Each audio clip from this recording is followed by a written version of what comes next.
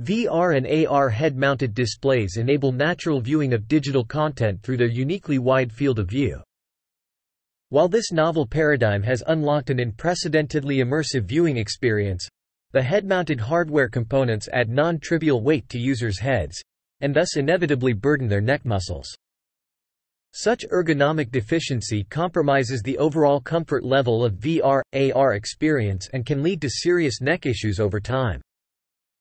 To reduce users' muscular workload toward healthier and more comfortable VR, AR experiences, we developed a computational model to quantitatively evaluate and predict their potential neck muscle contraction level before they engage in a virtual viewing experience.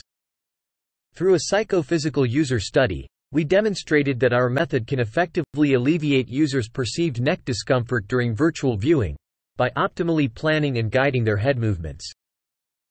To this aim, we first conducted a physiological pilot study.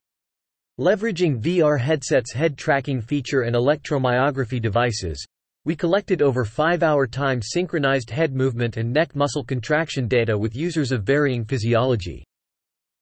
To ensure good coverage of common head movements in VR, AR, we sampled 63 anchor head poses from a rotation range of 100 degrees for yaw and 60 degrees for pitch. Starting from each of these anchors, our users were visually guided to rotate their heads to reach eight neighboring targets in different directions one by one. They were guided to stay stationary at each target for a fixed duration before rotating back to the anchor for the next target, so that both stationary and dynamic viewing conditions were considered. Our analysis of the resulting dataset revealed a strong impact of both head pose and angular acceleration on neck muscle contraction level. Building upon this knowledge, we proposed a biophysically inspired muscle contraction level prediction model to characterize muscle-driven head motions, and used our collected data to learn the open parameters within the model. The overall muscle contraction level prediction pipeline consists of two core components. A trajectory regression module that takes in a sequence of starting, ending head pose pairs and outputs a smooth head motion trajectory, and a muscle contraction level prediction module that takes in a head motion trajectory and outputs the corresponding muscle contraction level required for completing the movement. Beyond objective evaluation, we also performed a psychophysical study on users' neck fatigue in VR.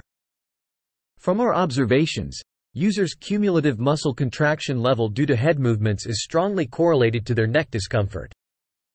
Besides, even subtle variations across guided head movements can lead to significant difference in cumulative muscle contraction level, thus perceived discomfort.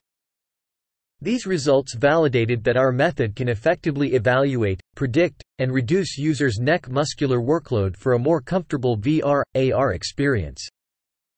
Please refer to the manuscript for further details on our methodology and evaluation. Thank you for watching.